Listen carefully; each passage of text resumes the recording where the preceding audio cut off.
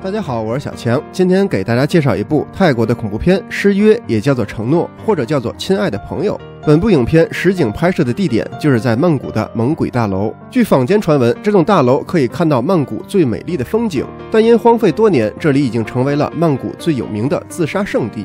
好了，咱们闲话少叙，来看下影片吧。影片一开始用一种纪录片的方式回忆了一下小文和小伊之间的闺蜜情深。然后他们在两位父亲的在建工地上画上了彼此的手印，并约定在楼房建好以后一起搬到这里居住。这是电视新闻里报道：一九九七年的亚洲金融风暴席卷了泰国，无数百万富翁一夜之间破产，原本前途一片光明的小伊和小文也受到了波及。在强大的精神压力之下，小伊的父亲想要自杀，同时还经常的殴打小伊。小文的父亲也患上了精神病，经常是幻想着和客户们谈生意。小文觉得活着已再无意义，于是他就给小伊发了条信息，约定在猛鬼大楼一起自杀。晚上，他们相约来到了这里。小伊拿出来了一把手枪，他和小文说：“不要让我孤单的死去，我先死，然后你要记得和我一起死啊。”小文虽然是很害怕，但是也点头答应了。突然之间，小伊开枪自杀了。小文也想紧随其后，但是看到小伊的惨状，小文又放弃了。其实，对于这种相约自杀的案例来说，除非是那种同时死亡的，否则第二个人有百分之九十九的几率会选择放弃。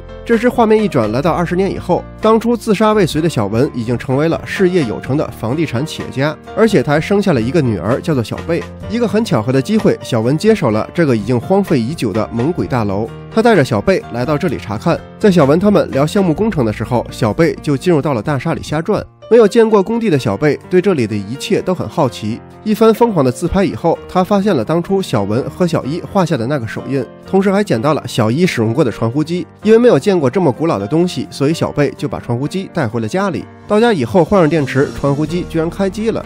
可是，在信息里，他看到了当初小文发给小伊的那条一起相约自杀的信息。小贝觉得这东西吧不太吉利，所以很快就扔掉了这个传呼机。但是你以为扔掉了就可以了吗？晚上，小文的家里是各种灵异事情不断。警察来到这里以后，还在门外发现了一个小文很熟悉的手印。经过调查监控录像，得知原来这个手印是小贝在梦游时画上去的。转天，小文送小贝来到医院，医生说这个呢没有什么大不了的，就是一个简单的梦游症，吃点药慢慢的就会好了。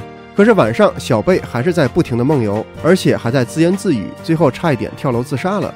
小文怀疑这是小一回来找他复仇了。小文在工地无意间还看到了一个小男孩。这个小男孩看到小文以后是非常的害怕，在小文的强迫逼问之下，小男孩说出了真相。原来有一个很恐怖的姐姐一直跟在小文的身后，而小贝这边的梦游症也是越来越严重了。在梦游的情况下，他差一点就上吊自杀了。小文也向小贝说出来了他和小伊之间的事情。小贝和小文约定啊，以后不管发生什么事情，小文都不能以任何方式来放弃自己的生命。小文这次呢也点头答应了。晚上，小贝因为梦游住进了医院，因为牵扯到了自己的女儿，小文不能是坐视不理。